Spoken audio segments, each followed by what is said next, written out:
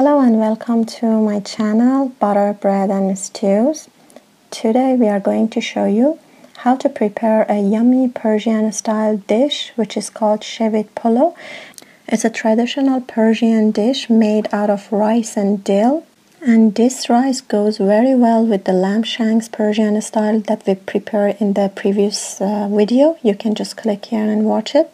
So let's start. Ingredients finely chopped dill one and a half cup. You can use fresh or dry. If you want to have a better quality of your rice and dish you can use the fresh ones. White rice 3 cups.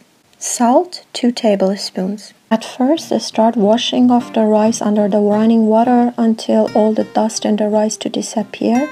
You can gently rub the rice in your hands so the dust will go away easily but you should remember to not to press the rice too much otherwise the pieces will be broken. Once the rice is clean and the water over the rice is clear you just fill the bowl of rice with luke water. The water should be enough to cover all the rice. Add 2 teaspoons of salt and mix the rice in the water and set it aside Separately, fill a cooking pot full of water and place it over the high temperature and cover it and let the water boil.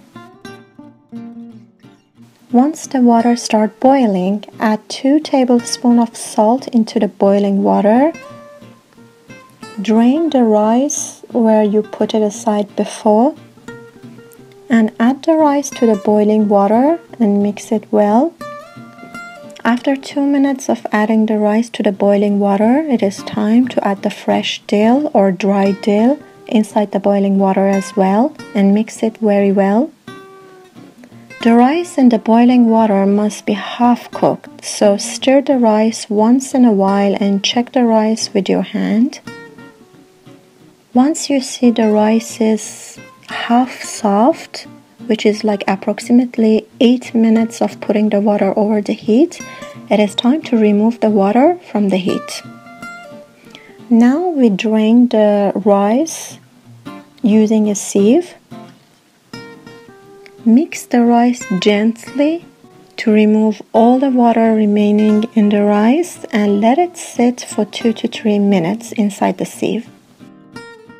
While waiting, separately Put the cooking pot back to the medium to high heat and add 3 tablespoons of oil to the pot.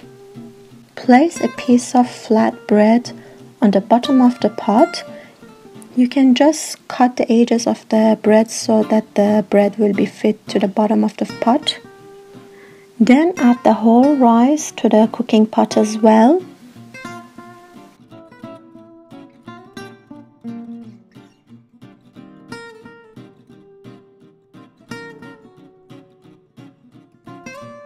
Add half a glass of water over the rice as well as 2 tablespoons of oil over the rice. Cover the pot using a clean towel wrapped around the lid of the pot. Bring the heat to medium to low and let the rice cook completely. After about 45 minutes to 1 hour, just check your rice. If the rice is completely soft it means it's cooked and it's time to remove it from the heat. To transfer the rice to the serving plate in a way that we should have the crispy side of the bread on the top and the rice on the bottom we choose a serving plate which is the size of the cooking pot. Place the serving plate upside down over the cooking pot and hold both sides of the cooking pot as well as the serving plate and reverse the pot towards the serving plate and put it down slowly. When you separate the pot from the plate, you will end up with a beautiful crispy bread on the top of the serving plate, just like a cake. I hope you like this and you make it and enjoy it. Until the next shows, happy cooking!